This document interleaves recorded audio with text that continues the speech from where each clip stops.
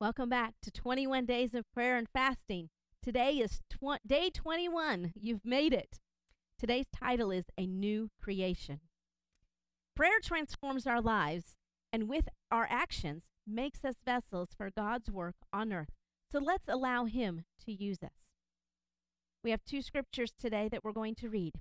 First one is 2 Corinthians chapter 5 verses 17 through 18.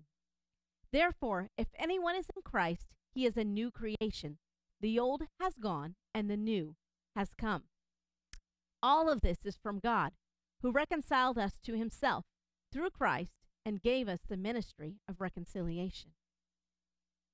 Our second scripture is Galatians chapter 5 verses 22 through 23.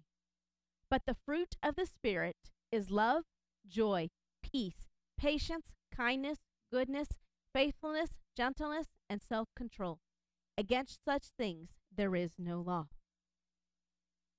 In our family moment today, as a new creation, list five things you would like to be able to do with Jesus' help.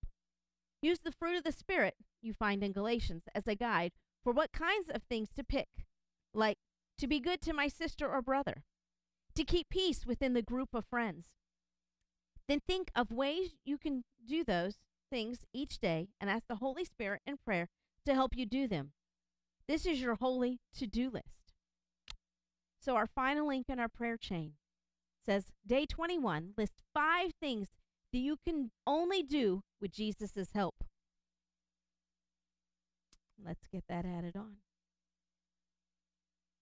Now that we have our prayer cha- chain complete,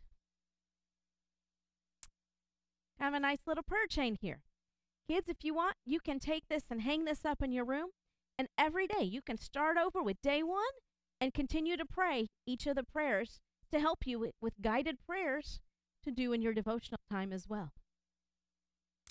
So, our prayer and reflection points today.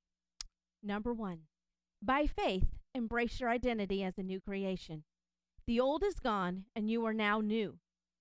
Listen for the Holy Spirit's prompting promptings toward patience, humility, love, faith, and joy.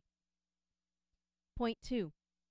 In these days where strife and division dominate, ask the Spirit to give you power, courage, and gospel infused speech that you might clearly proclaim the gospel to whom you are led. Point 3. In Christ, God took incompatible man and made him compatible with a holy God.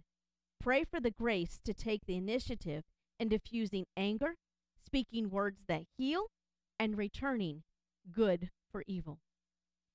And don't forget, we do have one additional scripture you can read. It's found in Galatians chapter 5, verses 13 through 18.